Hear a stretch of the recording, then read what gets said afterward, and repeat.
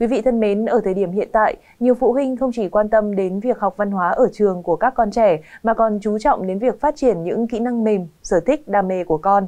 Vì vậy, khi thấy một số thông tin đăng tải tuyển mẫu ảnh thời trang bé yêu, nhiều người đã không ngần ngại làm theo yêu cầu. Thế nhưng đôi khi đó lại là một cái bẫy hoàn hảo để các tội phạm thực hiện hành vi lừa đảo chiếm đoạt tài sản.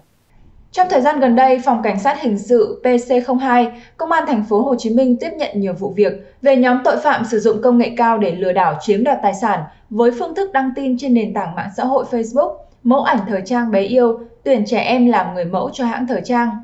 Nhiều phụ huynh muốn con em được nhận làm người mẫu nên đã liên hệ với các trang này. Sau đó các đối tượng yêu cầu phụ huynh tải ứng dụng mạng xã hội Telegram và đưa vào một nhóm kín. Trong nhóm này, các đối tượng sẽ có phân vai, trợ lý, chuyên viên, tổng giám đốc, cộng tác viên và đề nghị nạn nhân làm nhiệm vụ cộng tác viên trên mạng.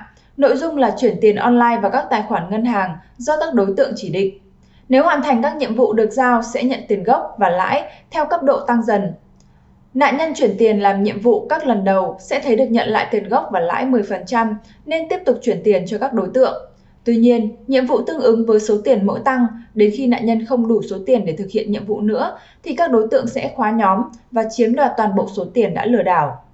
Để không trở thành nạn nhân của các đối tượng lừa đảo bằng công nghệ cao, Công an thành phố Hồ Chí Minh và các quận huyện khuyến cáo người dân một số nội dung như sau: Cảnh giác không tham gia, không gửi hình ảnh của con em phòng ngừa đối tượng lợi dụng mục đích xấu. Không chuyển tiền theo yêu cầu không hợp pháp để tránh bị lừa đảo.